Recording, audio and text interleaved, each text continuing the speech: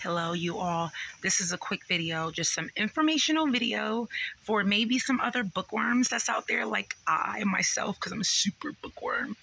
Anyways, I want to invite everyone to download an app, and obviously, this is not a paid video. I'm not even up to 1,000 subscribers yet. I'm not even to 100 subscribers. So, you know, this is not a paid promotion. However, Bookshelf, the app, is actually really, really cool. And you can download it in your Google Play. I'm not sure if it's on Apple or not. I'm not sure about those things, but I do know on Google Play that you can go put in bookshelf and it will pop up a little like light orangey icon.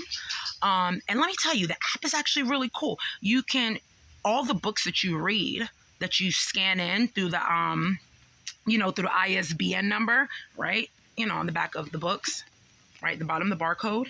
You can scan that in and it automatically loads up the book. And then you can um, export the whole list of books at any time onto your computer device or to spreadsheet or whatever you choose to do as a bookworm, but you can do so with the bookshelf app. It's really, really cool. And when you scan an ISBN number, it will show you if anybody else on the bookshelf app actually read the book as well.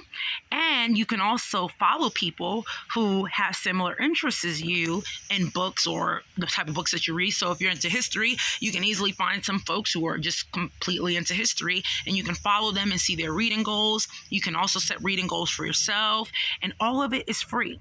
Granted, they do have a way to upgrade, I'm sure, to get additional features, but I don't have upgrade money right now. So I'm just using the free feature, and I just wanted to let you all know about it. That was that geeky video a bookworm video, but definitely important video because it is so important to get more avid black readers out there. Not just any type of readers. Yes, I specified more African American readers who want to expand